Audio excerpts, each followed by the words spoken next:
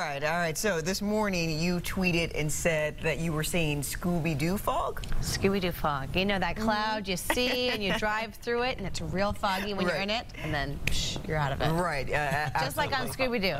What Beth said, coined a new forecasting. Scooby-Doo fog. Scooby-Doo fog out there for you this morning. You're going to drive through it. Uh, patchy fog is what we call it, but I like Scooby-Doo fog even better. Uh, visibility lower to about three quarters of a mile for uh, Indianapolis, uh, about eight miles, three quarters of a mile for you in Terre Haute. Now, this visibility will fluctuate throughout the morning hours. Right now, areas to the south dealing with a little more in the way of the fog. Now, here downtown, 71 degrees, calm, remaining calm, and also pretty comfortable for you this morning. So 71 for Indy, 67 Zionsville, 67 for Bloomington.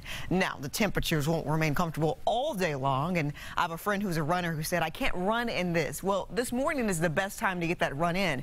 By the time sun, the sun comes up, it becomes uncomfortable, and that's why I fast forwarded to your lunch hour. All right, so this is our forecasting model. has actually been pretty good lately over picking up these numbers. All right, so it's going to put us at 81 degrees at around 1230. 79 for Peru, about 82 for Bloomington. As we continue warming, this model only puts our high temperature today at around 87 degrees, 85 for Peru. I think we're a little warmer. I think there are areas that will see the 90 degree mark. I think it's possible for Indy to see the mark, but I'm going to put the temperature at around 89 degrees for today. All right, so the cloud cover. We'll see a little of that today, a mix of sun and clouds, more sunshine in the forecast. There is a chance of a spot shower. Models are now removing that uh, from the forecast, but I do think there's a little chance tonight. We're unstable We're humid. We could spark a shower in the evening forecast. So hot and humid, a spot storm possible. Temperatures at around 89 to 90 degrees. Tonight, if you're headed to Victory Field for the Indianapolis Indians game, it's going to be hot and humid for there, and you may dodge a stray storm. So we're going to keep our eye on that storm chance and the forecast. It's 20%, so it's slight. Yesterday, we pulled in a few spotty showers because of that.